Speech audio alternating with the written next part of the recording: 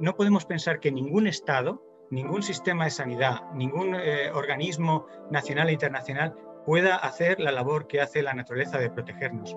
No, simplemente, por mucho dinero que pongamos, nunca cubriremos ni podremos equiparar a la naturaleza en protegernos frente a estas zoonoses. Llevamos más de 20 años simplificando los ecosistemas.